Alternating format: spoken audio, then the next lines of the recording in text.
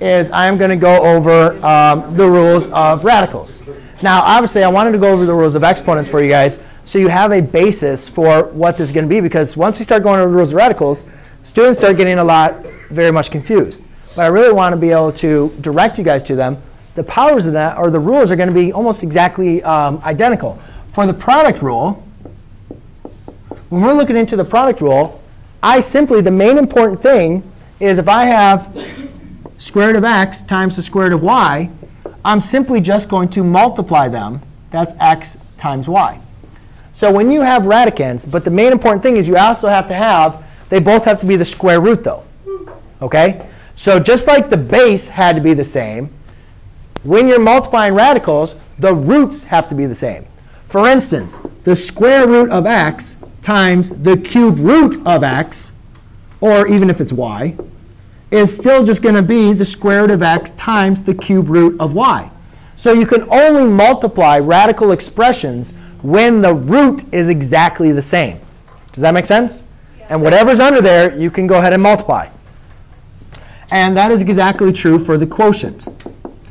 Now, the way that we like to write the quotient, if I have the square root of x over the square root of y, let's do cube root of x over cube root of y. To rewrite this, that is simply going to be the cube root of x over y. Um, could you say what you said last time again?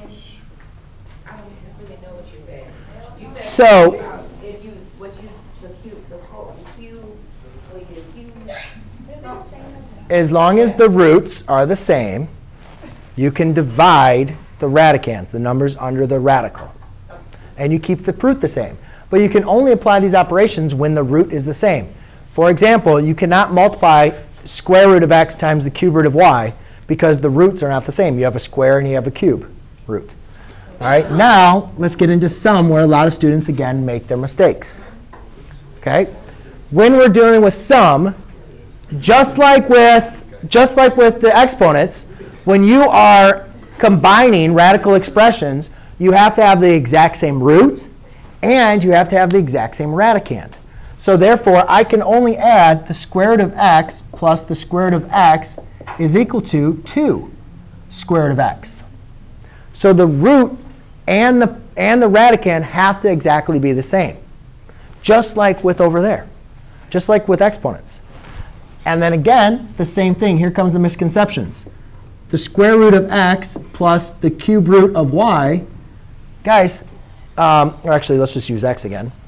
If the roots are not the same, you cannot add them together. So that just becomes the square root of x plus the cube root of x. If the radicands are not the same, again, you cannot combine them.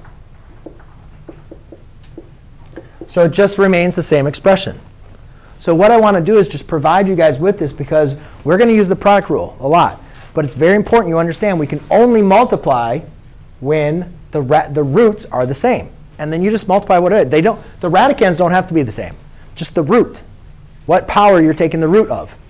Um, that works for product and quotient. However, if you're going to be adding and subtracting, which we'll be doing today, you have to have the same root as well as the same radicand. Sure.